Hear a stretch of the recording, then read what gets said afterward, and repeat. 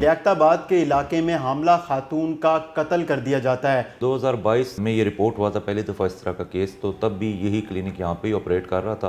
अभी तमाम को दोबारा गिरफ़्तार किया है और इस वक्त ये फ़िज़िकल रिमांड पे हैं पुलिस के पास। जुनैद साहब ये बताइएगा सारा वाक़ कैसे पेश आया और ये हमला खातून कब इनके क्लिनिक पर गई और कैसे कत्ल हुआ ये? ये इंसिडेंट जो है ये आठ तारीख का है आठ मार्च का।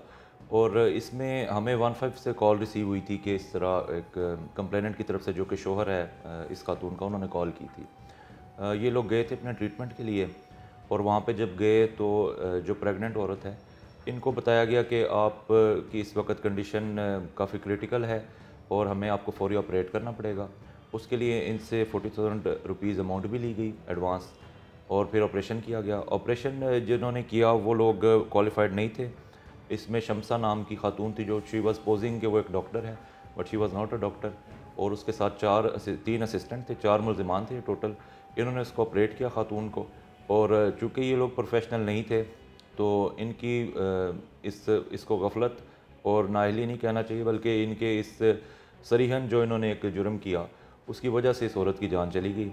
और उसके बाद फिर उसके हस्बैंड को इन्होंने बताया कि जी ये तो कोई पहले से आपकी कंडीशन बहुत ज़्यादा क्रिटिकल थी और ख़राब थी और हम उसके लिए ज़िम्मेदार नहीं हैं लेकिन जब मज़ीद पुलिस वहाँ पे गई और प्रॉब किया तो ये बात सामने आई कि इनकी वजह से हुआ है और ये एक्चुअली पहले भी इन पर एक एफ़ हो चुकी है 2022 में।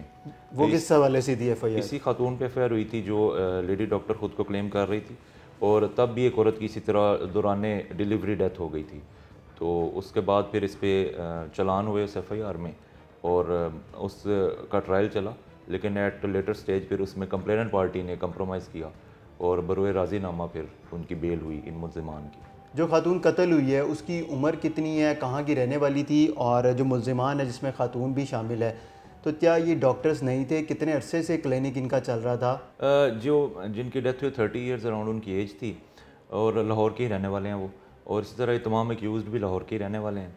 और 2022 से में ये रिपोर्ट हुआ था, पहली दफ़ा इस तरह का केस तो तब भी यही क्लिनिक यहाँ पे ही ऑपरेट कर रहा था। तब ये तमाम लोग गिरफ़्तार हुए थे और फिर जेल गए थे और फिर इस पर मुकदमा चला था।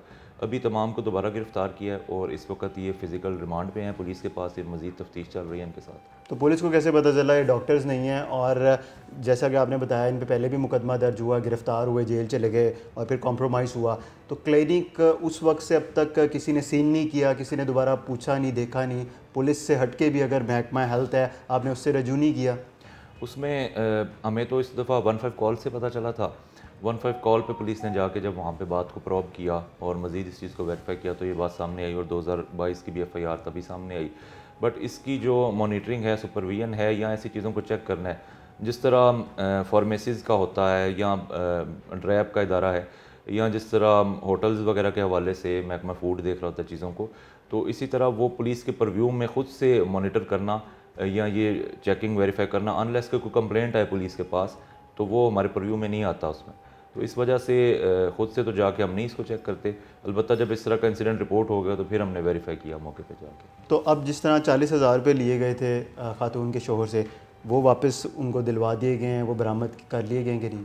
वो बरामदगी तो है बट अब जब आगे ट्रायल चलेगा इस केस का और मुलजमान को कोर्ट में पेश किया जाएगा रिमांड के बाद तो फिर उसके बाद बाकायदा सुपरदारी का जो हमारा तरीक़ाकार होता है उसमें कंप्लेनेंट एप्लीकेशन देंगे और कोर्ट ऑर्डर पे जो है बतौर माल मुकदमा जो ये है अमाउंट उसकी सुपरदारी होगी। अब मुकदमा जो है किसकी मदीत में दर्ज हुआ है और किन दफ़ात के तहत? ये दफ़ा 302 यानी मर्डर के दफ़ा है उसके तहत रजिस्टर हुआ है और कंप्लेनेंट शोहर है इसका खातून का।